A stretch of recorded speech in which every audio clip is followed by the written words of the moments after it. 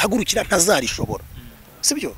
Nimba ufitanye ikibazo na ndayizeyizaye bari uvuga. Ariko wiza gufata ngo ufate nka ADPR uterure yose ukubite hasi.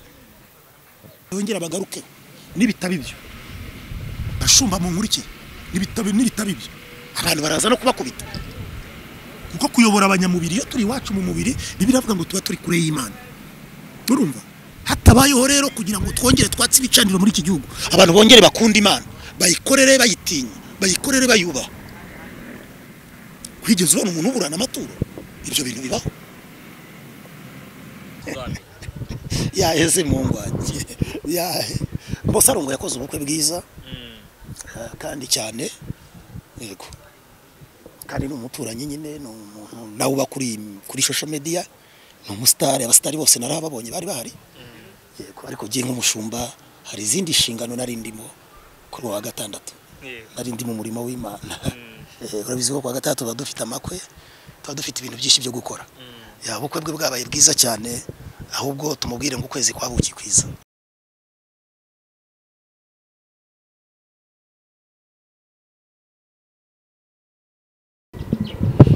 Reka nongere mbasuze mbere mbifurize amahoro y'imana aho muherereye hose ku isi. Uyu munsi nge turi mu gitondo cyo ku wa mbere si ku wa mbere ra? Eh, umunsi ni ku wa mbere. Tariki zishyira cumi n'enye cumi n'eshatu. Nongera kugirwa umugisha wo kubana na bishop porofete intumwa umuhanuzi w'imana. Gerard. Byatera umuntu kuremera wagiye ukoresha mugisha Gerard rira oya bishop muraho neza muraho hori. Amakuru y'iminsi hori uzi icyo bivuga? Mm, bivuga iki? Umwuka wera.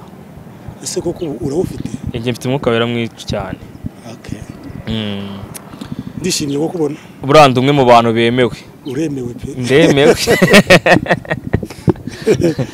Utagira ikiganiro muri burage baze kwihangana. Ariko ni byo byiza buri utangiye uganira n'umuntu. Bari byiza. Amakuru y'iminsi muraturusha iki hakurya? Imvura ni nyinshi. Kigali imvura ni nyinshi. Kigali imvura ni nyinshi. Eh, ubwo twe mu cyaro urumva twarahuritse. Eh, hakurya. Bishop reka dutangire ikiganiro cyacu dutangire dusengera imana ndetse uha n'abantu nimero za telefoni bashobora kuzagira ikibazo bakoza kuri kino kiganiro cyangwa se baguha nk'inyunganizi z'iki kiganiro. Eh, n'abashaka ko twibera inshuti. Mm. inshuti? Eh, yego. Mana turagushimye. Tugushimiye urukundo rwawe n'ubuntu bwawe. Tugushimiye ko waturinze. Bana natwe igihe byose bitambutse utubera imana. Tukubera abagaragu turakwemera. Tugushimiye umwanya mwiza ku bwahori ndetse n'abadukurikiye kuri izi kamera zombi. Dusabye umugisha ku banyamakuru turi kumwe abakameramani ubaha umugisha. Bana natwe rero tuyobore mu byo tuvuga. Kandi ukomeze kuba hafi y'ubuzima bw'abantu bagutegereje. Dusengeye abarwayi bari hirya no hino abababaye bari mu kaga mu bihe by'intambara abo bose bagire neza mu izina rya Yesu. Amen. Nimero yanjye ni zeru karindwi umunani umunani kane gatanu umunani gatanu cumi n'umunani. Iba kuri watsapu kandi ibaho makumyabiri nane kuri makumyabiri nane. Imana ibaho umugisha. Makumyabiri nane? Kuri makumyabiri nane. Iba kuri watsapu Eh, no kuri kori icyarimwe. yego. Bishop uri umwe mu bantu babaye mu idini rya deperi igihe kirekire. Mba n'umukozi wabo. Mba n'umukozi wabo. Yego. Ubu haravugwa ibimeze nk'ibihuha. Eh, ni urupapuro sinzi nimba wigeze urubona. Eh, sinzi urupapuro nabonye rusa nk'ibihuha nimba wigeze urubona. Eh, ruvuga ko bashaka kweguza ndayizeye izaye. Ni kwa kundi perezida regari eh. Ni kwa kundi umutinda arota arya n'abantu baratinyuka. Mbo eh, nabibonye nanjye. Mm. icyo gipapuro nakibonye ariko ntekereza ko urwego rushinzwe kumweguza atari ruriya. Kuko nkibaza ngo ni ibiri mu mitima y'abantu. Ese izi ni cyo kibazo cyonyine kiri muri ADP ni cyo kibazo nyine nanjye nakakubariza nk'umunyamakuru.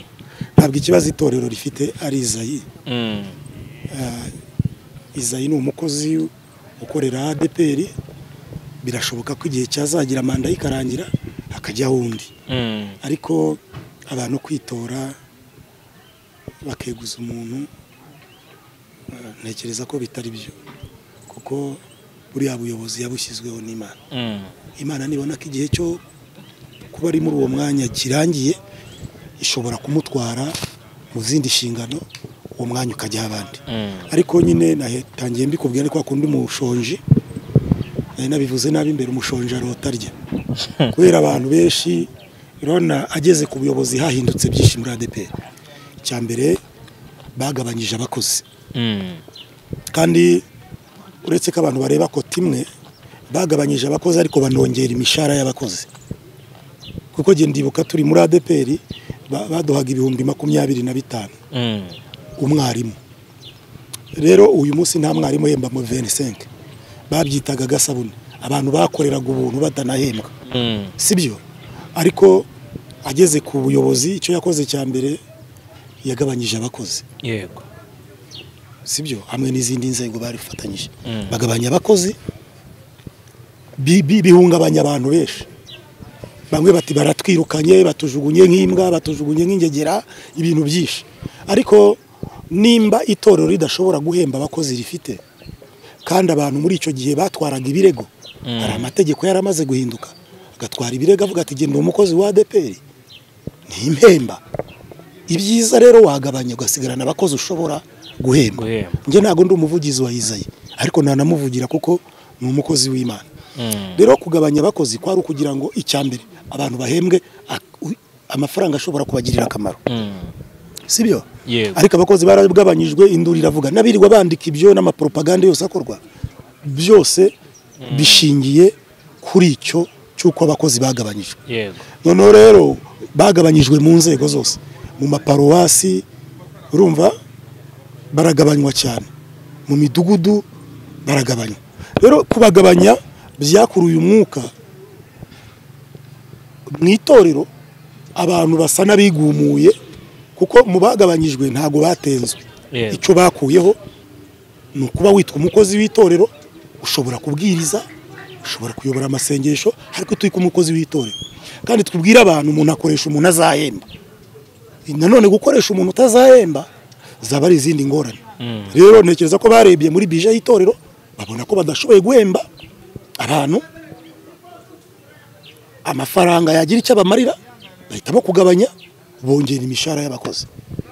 Kuko ubu umwarimu wo muri ADPR ntabwo agihembwa mirongo bari hejuru muri za magana cyangwa mu ijana na. Ayo ni amafaranga ashobora kubafasha. Ariko nimba kera umwarimu yarahabwaga mirongo itatu ibihumbi bi- makumyabiri. Rero kugabanya abakozi ukongera imishahara y'abakozi ntekereza ko gihe cyari ikintu cyiza. Rero abo bagabanyijwe bahora bumva yavaho kandi ashobora kuvaho n'undi uje urumva? Yeah. n'undi uje agakora ibiruta ibye ahubwo akanatandukira cyane. Cyangwa eh, akanatandukira agakora ibindi bitandukanye. Rero izo ntambara zose itorero ibibazo ryagize ni uko abakozi bagabanyijwe abantu bamwe babivumbura ku itorero basa n'abigaragambije ndagusuhuje inshuti yanjye. Basa n'abigaragambije ariko abantu bajye bamenya ko rwose ntabwo ari umugabo mubi nta muntu yahohoteye. Nta genda mushima yego. Bishop kuki abantu benshi bagenda bavuga ko ndayizeye izayi atimitswe n'imana ahubwo yimitswe n'imbaraga z'abantu. Z'abantu gute? Za leta se? None se itorero ryari rifite ibibazo? Hari harimo intambara nyinshi. Hari harimo abarya amafaranga. Murabazi bagiye bafungwa. Bigurira amavewiti bigurira abiyubakira amazu. Murabizi bagiye bafungwa. Itorero ryari ririmo ibibazo byinshi. Sibyo? Leta yinjiye mu itorero ubuyobozi bwite bwa leta bwinjiye mu itorero busanga nta kindi gisubizo kigomba kubaho. Yego. Urumva? Uretse gufata abo bantu bibye itorero bakabajyana aho bagomba kuba bari hanyuma bashyiraho umuntu. Sibyo? Ushobora kuba ayoboye itorero mu gihe nk'icyo. Mbwira abantu iyo ibintu twananiwe kukibyikemurira leta iba igomba kubizamo? Ikibazo ni uko ibintu byari byananiye inzego zose z'ubuyobozi bwa DP byari byazinaniye. Nta kindi rero leta iba igomba kuza kuko leta ni umubyeyi. Itorero rikorera mu gihugu kandi itorero rikorera abenegihugu. Ntabwo abenegihugu rero umutekano wabura. Leta ngo ikomeze ibirebere ahubwo yo nk'umubyeyi yihita ihaguruka avuga ati "Okay, ubwo mwananiye kubyikemurira reka tuze tubibakemurire sibyo none se ubundi si ikibazo kiba kiri? Nimba mwemera ubuyobozi bwite bwa leta kuki mutemera abo bubahaye kubayobora mu itorero? Ubundi ikibazo kiba kiri he? Ni ikibazo kiba. Ariko bishop ntibaza nanone ku rundi ruhande iki aba basa nkaho birukanwe muri ADEPR yego. Ntabwo birukanwe. Bahagaritswe. Bahagaritswe ngo nshingano ariko batirukanwe? Eh. Bajya no kuvugira umuhamagaro bakawukorera mu yandi madini. Kuki akenshi iyo muganiriye usanga bafite amaganya ndetse baninubira ingoma iriho. Mbo ingoma nyine barayinubira. Iyo ikigo kigabanyije abakozi. Abakozi kirukanye bakivuga uko bashaka. Ariko abantu ntabwo bareba. Ngo barebe niye mpamvu. Dufite abarimu ibihumbi mirongo itanu ni urugero. Cyangwa ibihumbi makumyabiri. Dufite abapasiteri ibihumbi mirongo itatu. Sibyo? Bije y'itorero ntitwereka ko abo bantu dukwiriye kubahemba. Urumva? Igikwiriye rero ni uko baba barimu ibihumbi bitanu. Tugabanya tugasigaza ibihumbi bibiri dushoboye guhemba. Ariko abo tugabanyije birabagwa nabi. Ayo maganya barayavuga. Ayo maganya baraba bayafite. Ariko impamvu nyamukuru? Ubuyobozi bwo bw'itorero cyangwa bw'ikigo buba bwabonye ko budafite ubushobozi? Ndetse kugira ngo umuntu azakurege avuga ko wamwambuye ntiyakurega avuga ko wamusezereye. Kuko wamusezereye wagaragaza impamvu wamusezereye ni uko utari ufite ubushobozi bwo kumuhemba. Rero mu kugabanya kw'itorero rya deperi abakozi nabikubwiye. Itorero ryarebereye abarikorera. Risanga umukozi waho nta- ntakwiteza imbere. Kubera twa tuntu dutoya babonaga. Rero rero tugabanye abakozi twongere imishahara. Abantu bashobore kuba ari abakozi b'itorero badakennye. Baba ari abakozi b'itorero bafite icyo bakura mu itorero koko. Abagiye rero ku ruhande amaganya arahari umukozi wese usezera amaganya arahari ariko none si ntukwiye gusezererwa ngo wigumure ku itorero. Wigomeke ku itorero. Cyane cyane ko inshingano umuhamagaro wawe uba ukiwufite nimba wabwirizaga akomeza ubwiriza ariko ntukiri pasitoro urumva? Ntukiri pasiteri uhembwa n'itorero. Wakitwa pasiteri w'umuhamagaro. Urumva? Wakitwa mwarimu w'umuhamagaro. Ariko ntukiri umukozi w'itorero. Uri gukurikirana nta wabwirije ngo bamwime ahabwiriza nta wahanuye ngo bamucecekeshe. Urumva? Ni na yo mpamvu niyo bashatse kujya inyuma y'abantu ngo babangishe itorero babereka ko barenganyijwe. Ariko nabo nibajye banareba barebe ese itorero ryari rifite ubushobozi bwo kuduhemba twese?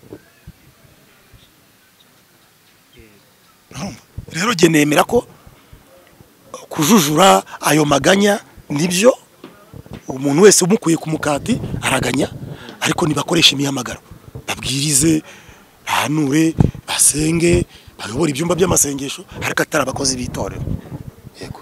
Mbere reka mbere ko bari abakozi basa nkaho ari abaforontera benshi. Yes nabundi babagize nubundi abo bitwa abavolonteri bemerewe gukora nk'abavolonteri. Yego. Babonaga amaturo abenshi bayoboye ibyumba ndetse none ubu ngubu bavuga ko avuyemo yoherezwa ibukuru oya nubundi ariko na mbere hose ariko byagendaga. Kandi abenshi baranabatenze mu itorero ubu ntibagikora. Basa nkaho bari mu rugo. Se nkibaza ngo ba mwarimu bagiye batemba? Eh. kuba barabahagaritse? Uratandukanya ibintu bibiri. Cyangwa nuko abakozi bari benshi ni uko abakozi bari benshi ariko dutandukanye ibintu bibiri. Dutandukanye gutengwa no guhagarikwa. Barahagaritswe gutengwa ni ukujya inyuma y'itorero. Babahagaritse ku nshingano ariko bemererwa kurya igaburo bemererwa gukora indi mihamagaro. Waba n'umuririmbyi waba n'umudikonisi wakora imirimo iri aho wayobora icyumba wasengesha abantu. Abo bagiye batenga ni abagaragaweho n'ibyaha. Urumva? Ariko abo batatenze. Ese ubundi ko abantu baba bavuga ko bakorera imana kandi bakaba batarabahagaritse mu gukorera imana? Uretse kubahagarika muri iyo mishahara n'iki? Abantu banyuzwe. Izi ntambara rero satani yanga itorero yanga umurimo w'imana. Abantu bajye babimenya. Ariko ndayizeye izayi ntabwo ari we kibazo adeperi ifite nta n'ikindi kibazo adeperi ifite ikibazo ifite ni icy'abantu batakibona ibyo babonaga. Noneho bakabona ko impamvu ari ndayizeyizanye kubera ko ntibabona ibyo babonaga. Wabaga uri umushumba wa paruwasi ufite ahantu warakabye. Hari ubwatsi bwawe. Ugasanga uwo mushumba ariko ko ubwatsi bwe bamuhagaritse induru ikavuga. Ariko ntabwo bikwiriye rwose. Ntabwo bikwiriye kuko ah, bibiliya iravuga ngo ubuyobozi bwose bushyirwaho n'imana. Ndayizeza y'imana niyo yamuhagaritse hariya abantu nibamwubahe. Abantu bumve ubutumwa bageza abantu bakire mesaji imana imunyuzamo. Urumva? Igihe cyose rero bitameze bityo abantu bazahora bavuga kandi babere n'ibigusha abandi. Kuko buriya baba bagusha abandi babaca intege mu byerekeranye n'umurimo w'imana. Bagenda bavuga ngo bakwiye ku maturo kandi bagakoze njyewe mbona ukoze urusengero rwawe ahari wayabona. Oya iyo ku kintu uba ugerageje gukora urusengero barufungisha baruhagarika bande se. Aba benshi kuko ari itorero riri kuza ntabwo ari byo. Itorero iyo ugiye gutangira itorero urabanza ugashaka ibyangombwa. Benshi batangira nta byangombwa bafite. Leta yakora gahunda zo kugenzura insengero zujuje ibisabwa. Igasanga umuntu yihenetse ahantu nta byangombwa afite. Sibyo? Bimwemerera gukora. Uri gukurikirana. Leta ikarufunga. Iyo irufunze rero abantu bakondana itorero ngo niryo ririmufungire. Itorero runaka ariko ntabwo itorero runaka rifungira umuntu. Leta niyo ifunga bitewe n'uko iryo torero ritujuje ibisabwa. Sibyo? Ibisabwa urabizi urusengero rugomba kuba rufite sound proof urusengero rugomba kuba rufite nyine ibisabwa rero insengero nyinshi usanga abantu bagenda kakagondagonda ahantu mu gasare ariko adafite ibyangombwa. Bazatuvuguruza hano iyo ufite ibyangombwa urakora. Ukaba uri ahantu hujuje ibisabwa. Koko hakwiriye kuba urusengero? Ariko nanone ntiwajya gufungura urusengero. Ngo urufungure ahantu hatemewe hanyuma ngo uvuge ko uh, urwo rusengero ruz- ruzakomeza. Bararuhagarika nawe uri mu bamwe mu bapasiteri babaye muri iri dini. Yego. Baranandeze bandeze neza kandi. Bakoreze neza. Cyane. Ese kuki iyi dini ribareze rikabacutsa? Abenshi ari mwe murivuga nabi. Njye ntabwo narivuga nabi. Ubundi kuvuga nabi uh, umwana wese umwana wese nari ngiye gutukana umwana ariko winjije avuga nabi iwabo burya nubona umuntu uvuga nabi iwabo aba afite ikibazo cy'ubujiji. Na- narabikubwiye n'ubushize. Umwana iwabo bashobora kuba baroga biba. Ukabaza ati sha iwanyu bararoga baraniba? Akakubwira ati oya ati iwacu ntibi kandi ku musozi wose bivugwa. Kubera iki? Umwana wubaha iwabo ntahavuga nabi. Ubu mvuge nabi itorero ryambatije. Mvuge nabi itorero ryampaye inshingano. Mvuge nabi itorero ryanyigishije. Rikanyigisha amahame. Rikanyigisha rikanyigisha nkava mu byaha nkamenya yesu. Ndivuge nabi. Kuvuga nabi itorero ryakureze ni ubujiji. Ni ubuswa. Iwanyu haguma ari iwanyu. Uko haba hameze hose ni iwanyu. Ariko abantu nyine ntibabyumva ashaka avuga ibi agashaka avuga ibi ngo ririya torero riratuvura rira- riratuvuna ririya torero rifite amacakubiri ririya torero mm, habamwo abantu bameze gutya na gutya. Ibyo ntuba ukwiye kubivuga nimba uri umwana ufite ubwenge. Urumva? Iyo ufite ubwenge ntaho ntaho ibibazo bitaba. Insengero zose zirimo ibibazo. Ibibazo biri iwanyu n'ahandi uzajya uzabihasanga. Ibibazo biri muri adeperi n'iwanjye muri rehoboti birahari. Birahari. Birahari. Ibibazo byose ni bimwe ibibazo by'amadini byose ni bimwe. Habamwe abakijijwe hakabamo abadakijijwe habamwe abumva hakabamo abatumva. Habamo abakozi b'imana hakabamo n'abakozi ba satani. Hi. Barahaba ariko si ngombwa ugenda uvuga ngo aha barandogeye ngo aha bangiriye batyanga iri toro rya deperi ngo kandi ryarakubatije ryigisha abana bawe mikoro de dimanche ritanga uburere ubaye ubaye ubaye umuvugabutumwa umenye kubwiriza umenye guhanura uje kuri kamera hano uje kuri sebye gusa ibyo ni ibintu ni ubujiji. Bamwe bavuga ko babareze mu mwuka ariko ntibabaha iby'umwuka. Birashoboka se. Kurera nyine ikakurerera mu mwuka ariko ntiguhe iby'umwuka kandi ryarabiduhaye ryarabiduhaye hari umugabo ujya uca mu migani ariko sindi bubivuge. Ariko ngo utazi ubwenge areba nabi ntuze ikandekeraho ariko ubwo ni ubujiji.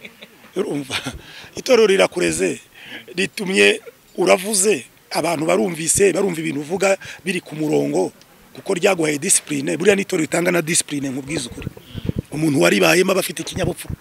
Mu byerekeranye n'iyo apfapfanye ntabwo agenda buheriheri. Kuko harimo inyigisho. Kandi ni abantu bakurikirana. Ntabwo ari ya matora umuntu ajyamo akigaragura mu byaha akagaruka akaza mu murimo w'imana. Baraguhagarika. Hari amahame utagomba kurenga. Urumva? Hari umurongo utagomba kurenga. Rero itorero rikwigishije kuvuga urabwirije ubaye porofete ubaye bishopu se ubaye umuvugabutumwa ubaye umupasiteri ufunguye iryawe se ugeze hirya urivuze nabi. Mu mutwe ni tete vide. Uba ufite mu mutwe hatagize ikirimo. Kuko aba- abavugabutumwa benshi ubona hano ku mihanda. Ryarabareze abapasiteri benshi ubona hano kuri iyi mihanda. Cyangwa bafite n'amatora hano ryarabareze bose amashereka yaryo. Nizo ndangagaciro abantu bagifite n'uyu munsi. Rero abantu bubahe bamenye kubaha bakozi b'imana bubahe abo bigiye ku birenge. Ntabwo pawulo ntabwo timoteyo yasuzugura pawulo kuko timoteyo yigiye ku birenge bya kuki abakristo cyangwa se ni iyihe mpamvu ituma abakristo muri rusange bafata ibibazo bibera mu idini bakabitukira itorero?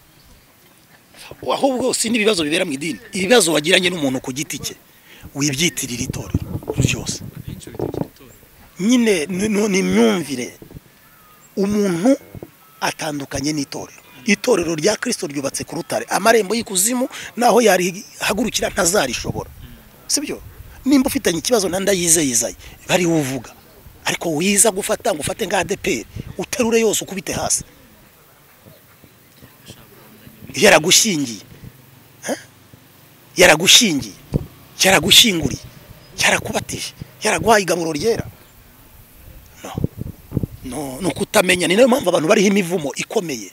Kuko abantu bubahutse ibitubahukwa. Bamenyereye imana bamenyera n'abo yahamagaye bamenyera n'inzu y'imana. Sibyo kugeza ku rwego umuntu ajya ku muhanda hano agatuka itorero ryamuhaye ubuzima. Ntabwo ari byo. Nta mugisha wapfa kubona igihe waba ufite bene iyo myumvire. Abantu benshi bakunda gukritika kuri kano kantu iyo umuntu yatse amaturo akenshi. Ndetse ukanayarya mu ngiye kuvuga muri rusange usanga ese adeperi ubundi ikibazo njya ni n'ubu ni ho abanyamwuka basenga amaturo amaturo ntabwo ari ikibazo ahubwo imitima y'abantu kuko yaguye amaturo abaye ikibazo ariko abantu baratuye abantu bazanakomeza bature kuzageza yesu amaturo sadeperi yatangije amaturo yesu yahagaze ku giseke areba abatura abona umuntu utuye isengero imwe avuga ngo utuye menshi kuko abandi batuye aba- ayabasagutse. Ariko utuye icyo wari ufite? Nicyo nshaka kuvuga rero ngiki. Ntabwo ntabwo amaturo ari ikibazo.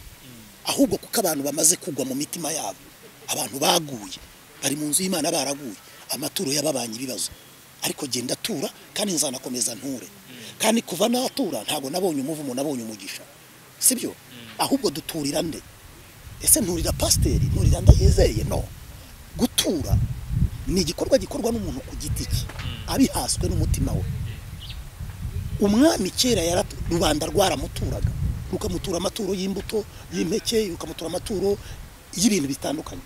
Natwe duturira umwami yesu. Twibutse aho yadukuye twibutse imirimo y'imana ku buzima bwacu ugahaguruka ukagenda ugatura. Ntabwo ituro ritegekwa. Ngo genda igutegeka mu rusengo ngo uhaguruke uture ku mbaraga. Oya utekereje iby'imana yakoze ku buzima bwawe? Utura ntawe ukubwiriye batereka igiseke ugaruka ugatura kandi nta muntu ugena ituro. Ituro ni wowe urigena wowe wowe uzi icyo yesu yakoze. Uyu munsi duturira umwami witwa yesu. Ikosa rero impamvu amaturo yabaye amaturo abantu basigaye batura baturira abantu. Sibyo? Ugatura kugira ngo nkubone ugatura kugira ngo ngushime.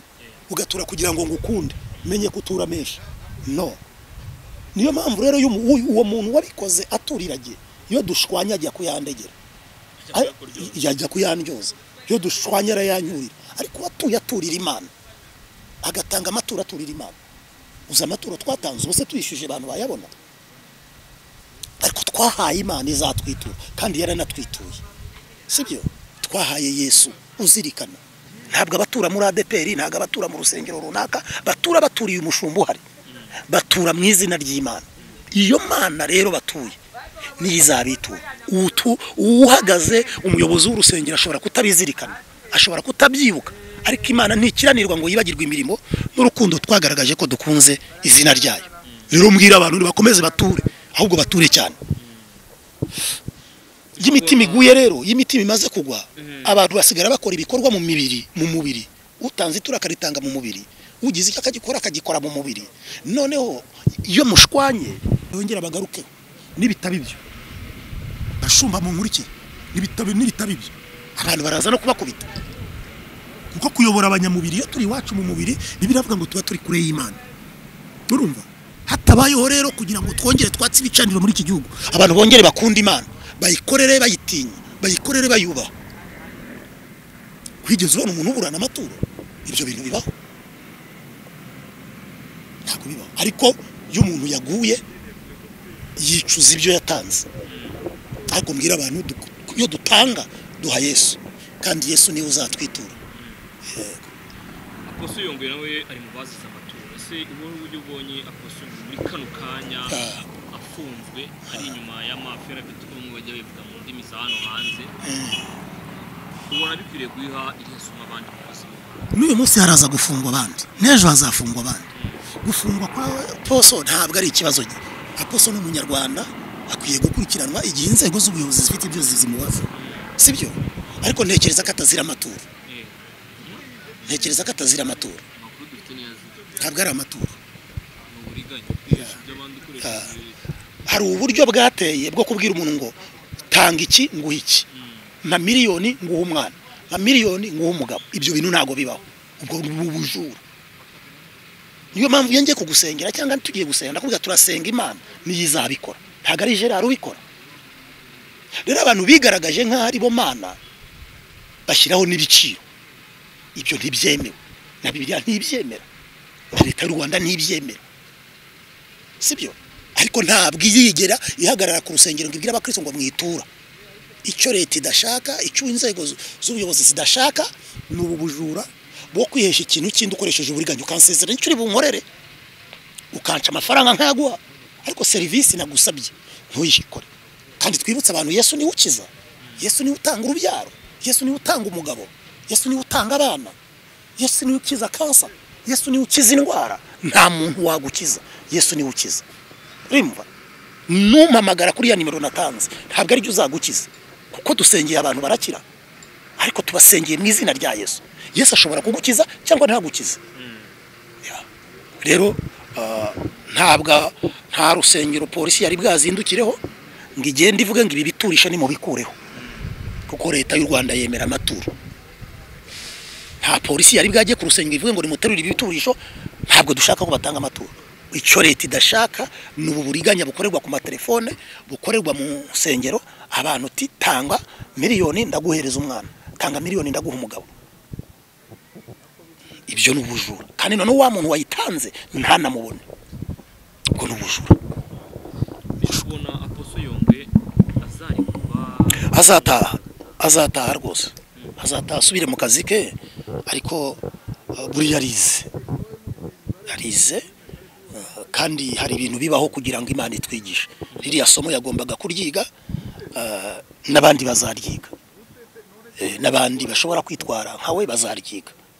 Yego. Ngombwa ni uko uh, kimwe uwimana ikundira mu cyaha. Eh, kandi ikindi ni uko hakiri ibyiringiro uh, azataha. Asubire muri famiye ye kandi yongera akorera imana. Uyu musore imana imugirire neza. Yarabikijijwe ejo bundi namusengeye. Eh, piyonika aba ari kuderanje. kubona ibi bintu bya ADPR reka mvuge kuri notire byonye isoze ubona ibintu bya ADPR bizarangira utatse kuvuga umushumba mukuru ndayizeye izayi birirwa bamukritikaho byose ubona bizarangira imana izabisoza Mm. Ya, buri bidashobokera abantu ku mana birashoboka. Ya, hari igihe twe turwana urugamba tukivuna ariko urugamba atari urwacu rira ni itorero ry'imana kirisita ariho kugira ngo arirwanirire. Kandi azarirwanirira. Imana izabikemura. Abakirisito nibasenge bakunda itorero ryabo bakorera imana bubaha abashumba babo n'abayobozi babo birinda amabwire n'amagambo. Imana izarusoza urugamba si urwabo ni urw'imana. Niyo izayi we nta kindi ku- kubicamo kwe ni ugusenga. Ni ugusenga kandi nzi ko ari umugabo usenga. Mm. ikiwe ni ugusenga. Iyo uri umushumba ukabona ah, izo ushumbye ziratera imigeri. Ziratera imigeri eh, urasenga. Mm. nta kindi kuko iyo amuhamagaye ikamuha uriya mwanya niyo kwizerwa. Kandi ihagararanye nawe kugira ngo imushoboze inshingano muri iki gihe kizihagazemo Ah, mbere yuko usoza ikiganiro cyanjye umwe mu bantu batuye mu gace gatuwemo n'umugabo witwa saro mm, ukoresheje kuba igitangaza mm. waba warabutashye ntabwo nabutashye ntabwo yantumiye yantumirana ari kujyayo. Yego. Nta ashobora kuba ashobora kuba ya- ya- yarabyibagiwe bikamucaho ariko ntabwo yantumiye yantumirana ari ku ari kubutaha Eh, cyangwa ari andi makuru ari inyuma tuzagenda tutoza tuzamenya yaheze mu ngwate yahe mbose arongo yakoze ubukwe bwiza. Mm. ah, kandi cyane. Yego. Kandi ni umuturanyi nyine ni umuntu nawe uba kuri kuri social media ni umusitari abasitari bose narababonye bari bahari. Yego ariko giye nk'umushumba hari izindi nshingano nari ndimo kuri uwa gatandatu. Nari ndi mu murimo w'imana. Mm. Urabizi ko kuwa gatandatu tuba dufite amakwe tuba dufite ibintu byinshi byo gukora. Mm. ya ubukwe bwe bwabaye bwiza cyane ahubwo tumubwire ngo ukwezi kwabuki kwiza. Buriya, yes ukaba ugize buriya yakuriye mbere. oya niyo wa- niyo mwaba musanzwe mubyara mub- mubana ukwezi kwabuki kubaho ubu ni igihe cyo kuruhuka bakareba uko bwagenze bakareba ibyagenze neza bakareba bakareba bakareba bagatirura ibintu bagakwira n'ibintu ni ukwabuki bakurimo. Ese iyo ubonye ubukwe bwa sarongo benshi bakunda kumwita umupfumu Mm. utahwa n'abakozi b'imana. Ah, kandi akanasezeranywa imbere y'imana. Ah. ushobora ahantu ubonamo mbo sarongo ntabwo ari umupfumu. Ah, sarongo ni umuhanga. Ntabwo? Ari umupfumu. Ni umunyabwenge ahubwo mbo abantu bafite uko bamuzi ku mbuga nkoranyambaga ariko muhuye. Ah, cyangwa mukabonana wabona ko ari umuntu w'umunyarwanda uri aho mwiza utuje. Icya mbere abakozi b'imana ah, kuba bataha ubukwe bw'umupfumu sinumva ko jyewe ku giti cyanjye. Jye nshobora kutajyayo kubera impamvu zanjye. Ariko uwabutashye ntabwo namuveba icya mbere ni umunyarwanda. Mbere y'uko aba umuvuzi none se ubu mu nsengero zacu nta bapfumu bazamo? Ntitubamenye. Ku bundi yaridekaraye se akigaragaza nk'umupfumu ni cyo cyatuma umuka- muha akato. Tuzababwiriza gute se tutabegereye? Imyumvire y'abanyarwanda iracyari hasi. Ariko ngasanga ari za nzangano zacu zitarangira kuba umukozi w'imana yabutaha akagenda ah, cyane cyane ko mu babutashye benshi nabonyemo n'abapasiteri bo muri eperi kuko iruhande rwe hari urusengero rwa eperi. Nabonye abashumba aho yari yabatumiye bari bahari. Kugenda ugafata fanta ukayinywa nta gitangaza kirimo. Kugenda ukaba uri mu bukwe ubukwe bu- bibiliya iravuga ngo ubukwe bwubahwe na buri muntu wese. Ntabwo rero ubukwe bw'umupfumu ari bwo bukwiye gusuzugurwa. Sibyo igihe mufitanye ubushuti muziranye warutaha. Ikibi ni ukwifatanya nawe muri ya mirimo ye y'umwijima. Ukifatanya nawe muri bwa bupfumu bwe. Sibyo kuko abatashe ubukwe bafite amadini bose basengeramo. Turetse yaba ari abamwambariye bafite amadini basengeramo. Yaba ari abambariye umudamu bafite amadini basengeramo. Ni abakristo bafite isengero babarizwamo. Ntabwo bivuze rero ngo umuntu kuko ari umuvuzi ngo ahabwe akato. Sibyo? Cyangwa ngo ndebe uwatashe ubukwe bw'umukozi w'imana ngo mbone ko ari ikibazo. Cyenda avuga okay, bitewe n'imibanire bafitanye ikibi ni uko nabona wa mukozi w'imana arimo araragura nawe. Navuga nti eh ni burya bya bintu. Cyangwa se akifatikanya nawe cyangwa akamushyira abakiriya n'ibindi. Aho kumwereka yesu aho kubereka yesu akabereka saro. Icyo cyo cyambabaza. Ariko kumutahira ubukwe kuba mwahura kuba mwagiramukanya ibyo ntabwo ari ikibazo. Izo ni za munyangire z'abantu.